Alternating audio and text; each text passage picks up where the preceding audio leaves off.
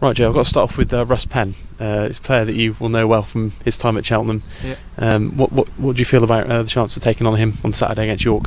Um, yeah, looking forward to it. Um, Penny was a great lad when he was here, but um, yeah, no, it's going to be it's, it's going to be a good challenge, and it? It'd be good, great to come up against Penn. I think he's looking forward to coming back, and um, obviously, yeah, we're looking to make a mark on him, and you know, what, looking forward to the game. Yeah.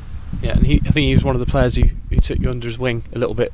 Him and Marlon, they, they offered you plenty of advice, didn't they, when you were when you were on the fringe of the first team? So we always be grateful for that. Yeah, definitely. Um, yeah, Penner looked after me a lot when he was here, and we'd always go out early doors and before training and that. And uh, yeah, no, it was weird when he told me he was leaving. It was a bit like, well, he said, look, you'll that'll happen in football. A lot of players will move on in that, and I guess it was weird at the time, but now getting used to it, coming up against different players this season already. Um, so yeah, it's just another game now, and obviously against against Penna. But um, yeah, looking forward to it, and uh, hopefully, yeah, we'll get one over on him. Yeah, the one thing you know you're going to get Russ is work rate, isn't it? He's going to, he's never going to give you a minute's peace. So what what's it like coming up against a player like that? Who, but you know what you know what to expect from him at least, don't you? Yeah, that's it. Uh, Penna's a ratter, isn't he? He'll rat and rat and he'll run all day.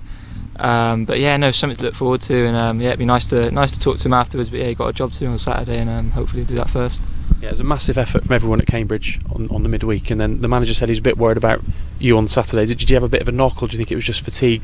That you know the reason why did he did he explain why he left you on the bench? Uh, I think he just wanted to change it up a little bit. Um, I'm always I'm always raring to go, and um, but no, Saturday I think he just he just said he wanted to just change it up a little bit, go with something different, and um, yeah, it might I don't know to be honest, but um, yeah, no, it just obviously didn't quite work out on Saturday um, for whatever reason.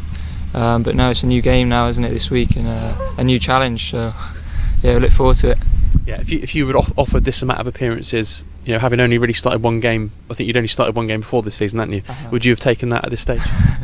Um, yeah, I- I think I think so. Yeah, and obviously now I'm doing now I'm in this position. You just want to keep playing and playing. Um, it's obviously I appreciate the gaffer for giving me the chance at the start of the season, and hopefully I repaid him. So um, yeah, I'll just do all I can to try and stay in the team for as long as I can, and um, I'll keep going. Yeah, keep working hard. Yeah. Ever since the, the moment you went on against Bury and obviously scored the winning goal, do you feel like you've taken it all in your stride? League Two football. Do you feel like you, you've coped with it? Do you feel at home in there? Yeah, I hope so. Um, I hope that's shown. Like I've been, I've been enjoying every day.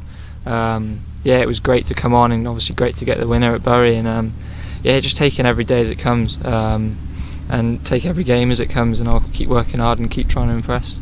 You had such a great start in August, then you had a, obviously had a bad September. October was, was better with the, back-to-back wins. Uh-huh. what's what's the feeling now? What, are you just about where you want to be at this stage? You know, are you sort of on a par? Would you say at the moment? Um, yeah, definitely. I think um, we're just outside the playoffs, aren't we? So we we've got a chance of getting back in. I think. Um, and yeah, you know what? The boys, the boys are always doing well. They're always working hard, and uh, um, yeah, we're always we're always wanting to do better. Um, obviously, yeah, we started brilliantly, and then we obviously come off it a little bit. But um, yeah, I think we're hopefully getting back on back on track again. So take that into Saturday in York. Yeah, just finally, Joe, what do you think you need to do to?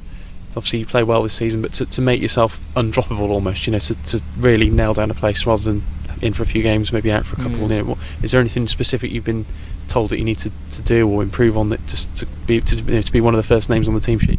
Um, I've sat down with Sean and had a s- chat with him, and it's just I just got to do my best. I mean, I try and try and keep performing well and trying to yeah, I'll do my best to stay in the team. I want to be in the team every week, so um, obviously it's up to the manager. But yeah, I'll do I'll do all I can to try and do that, and um, hopefully it happens. Yeah.